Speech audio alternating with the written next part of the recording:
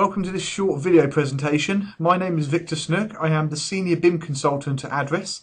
Okay, today in this, this recording I'm going to go through some of the enhancements to Revit 2013. The enhancements I'm going to be looking at are the new component-based staircases and the railing enhancements. So if we have a quick look at the railing, the uh, component-based staircases to start off with.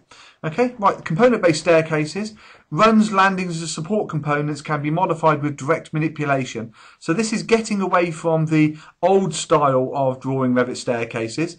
Okay, previously where you would create a sketch and it would actually turn into a staircase. Here, you actually create the landings, the railings and the support components as separate entities, okay, without the need for creating a sketch. With each of the individual components, once I actually select a component, as you'll see in my little demonstration, um, you can directly manipulate the items with handles or grips. Okay, There's lots of kind of grip editing and stuff, so it makes it a lot easier to actually get the staircase that's required um, by direct manipulation rather than actually having to keep going back into the sketch and manipulating 2D geometry to form your 3D sketch.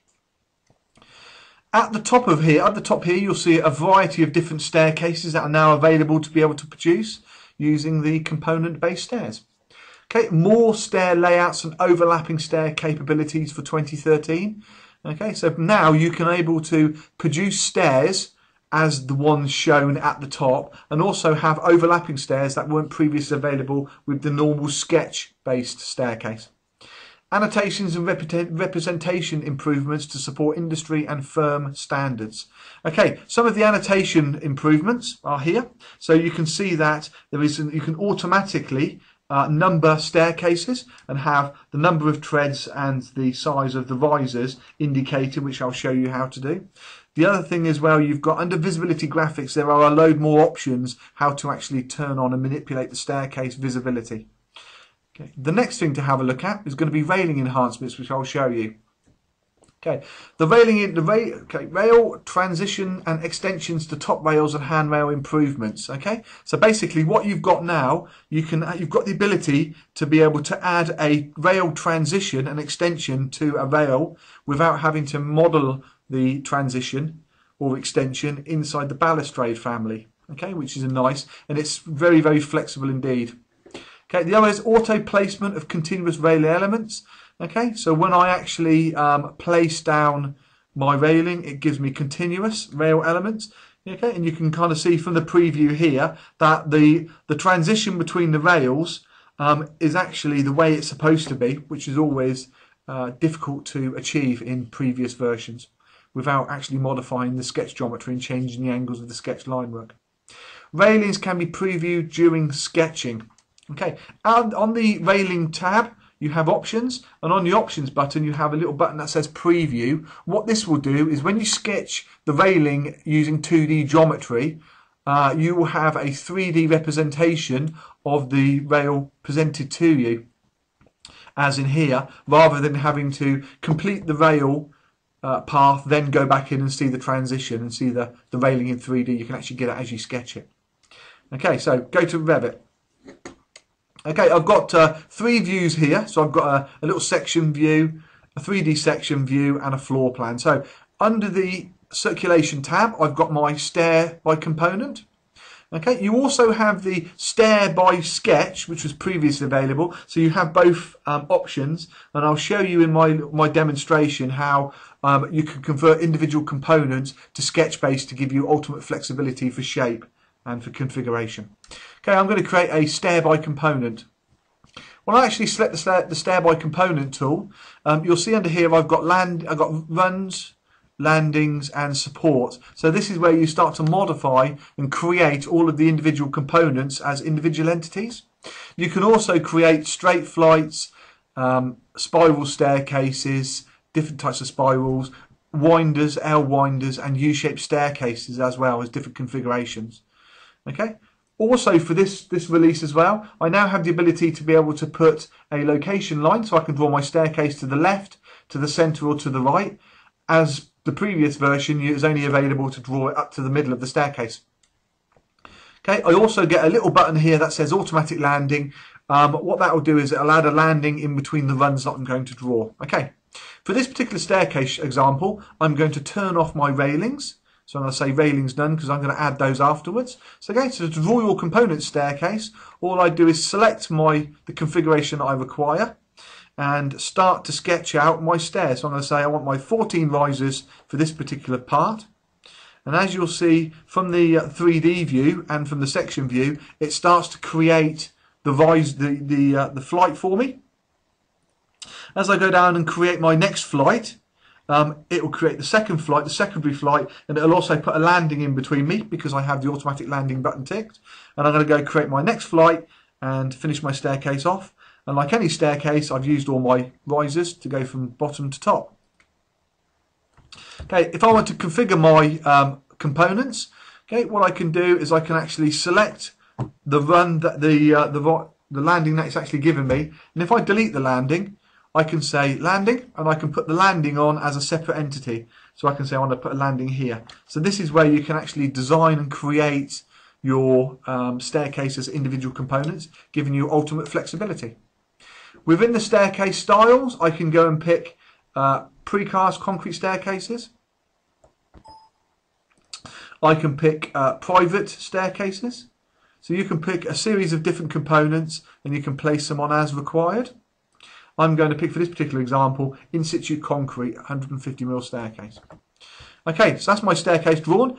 Okay, grip editing the staircase, I get lots of flexibility. So if I go to my um, section view, I can use the align tool and I can align my staircase to the sketch geometry. Okay, if I pick my landing, I get a couple of uh, handles.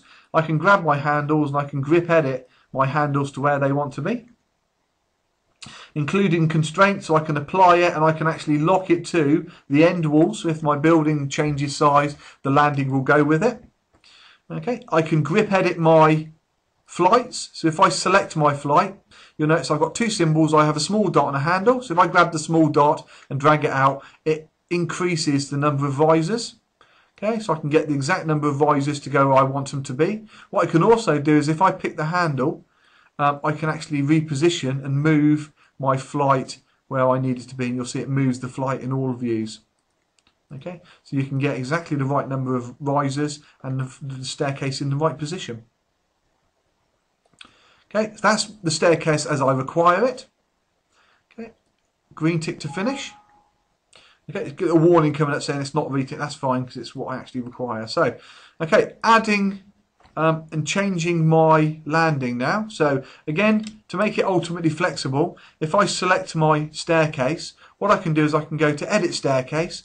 I can pick an individual component. In this case, in this particular case, I want to pick the landing. I'm going to convert it to sketch based. Okay, which will convert it back. Little warning saying once you've converted it, it's irreversible, which is fine. Once you've actually converted it, now if I select the component, I now have the ability to edit the sketch. Okay, it turns it into the traditional uh, sketch-based stair, and I can pick hold of it, and I can delete it, and I can put a nice arc on here instead.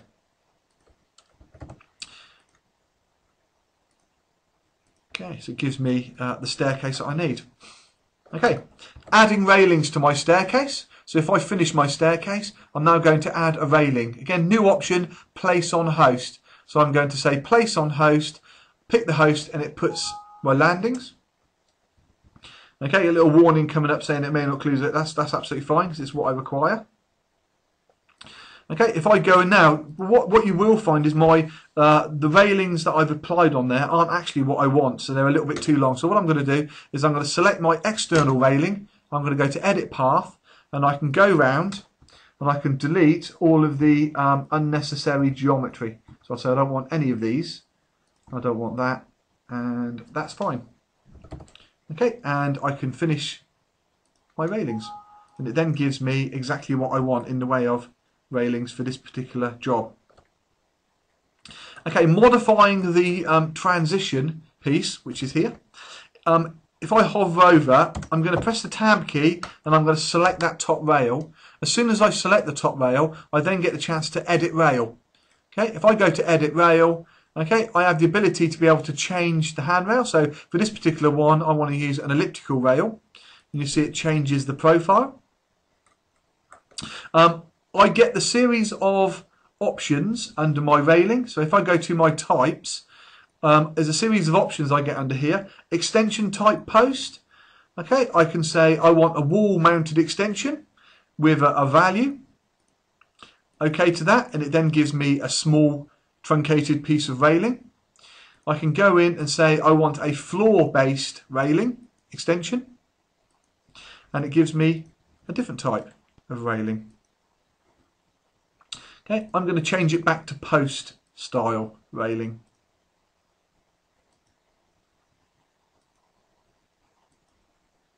Okay, what I can do now is um, inside the sketch I can start to, if I pick it, I can edit the path and I can actually select my geometry because I might want something slightly different. So for this particular transition, instead of actually being a square transition, I'm going to place an arc onto my model. A three-point arc, first point, second point, third point, and then a small piece of line to, to bring it back to where I want to go. Okay, and as soon as I go green tick to finish, it then gives me the transition that I want. Okay. Uh, changing the um, the joints of the rail. Again, you can do that. So in 2013, so if I hover over, I'm going to tab it, select it, and I can say edit rail. And one of the options I get now is to select a small part of it.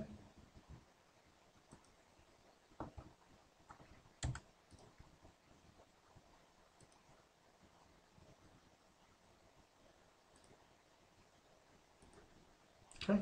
Um, I then get the chance to edit joints. So if I say edit joint, I can select a particular joint and say I want to do that as a fillet. Okay, and pick a different type of joint and say I want to do that as a fillet as well. And green tick to finish, and it then gives me a nice filleted radius. Okay, that was the enhancements to staircases and components. I hope you'll find them as useful as I have in using Revit. Okay. If you require um, any more information on what you've seen or any information on Revit or any of the products, okay, please visit our YouTube site where we're posting videos and other tutorials. Visit www.adris.co.uk or ring the number on screen and we'll be more than willing to help. Thank you for watching this presentation.